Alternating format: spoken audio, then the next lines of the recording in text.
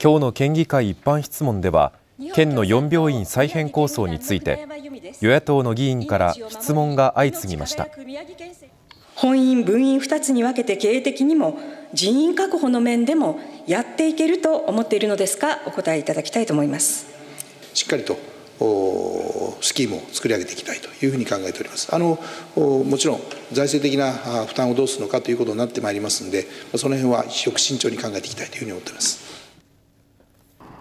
村井知事は昨日富谷市への移転を構想する名取市の県立精神医療センターについて移転後は名取市内に分院を設置する方針を表明。これまで検討してきた民間精神科病院の公募による誘致を断念しました。